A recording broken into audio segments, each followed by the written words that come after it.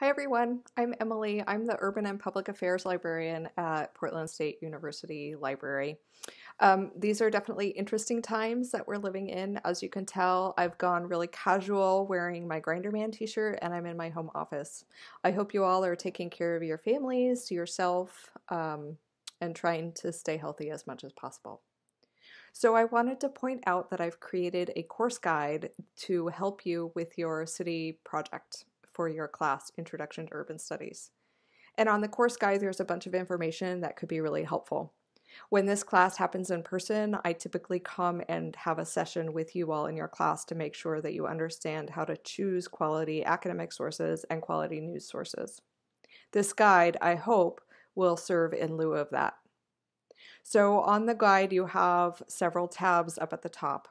The Community Research tab points out um, databases that you have access to as a student to find demographic information or information about a particular community. There's a video about using Social Explorer to find data. There's also a four-step guide to community profile reports in a tool called Policy Map. They're both really helpful for you in terms of gathering data and necessary information about the cities you're going to be exploring. The other thing that I'll say about this city project is that last year, when students were working on this, if they chose a city that wasn't in the United States, it was a lot harder to find data and information sources. So when you choose your city, that might be something that you take into consideration. The Scholarly Sources tab of the course guide has uh, some instructional videos about how to choose peer-reviewed articles or scholarly, scholarly articles, but it also links to an urban studies database, which um, is a database that has scholarly articles that are written from an urban studies perspective. You'll also see information on that page about how you might create a research question and move it into a search strategy. On the News and Other Sources page, You'll notice that I've included a video on how to evaluate websites. And also there are some links to uh, some library subscribed newspaper databases. Those newspaper databases can be really helpful for determining sources um, that aren't necessarily scholarly articles, but are still pretty relevant. I would like to point out specifically Ethnic Newswatch.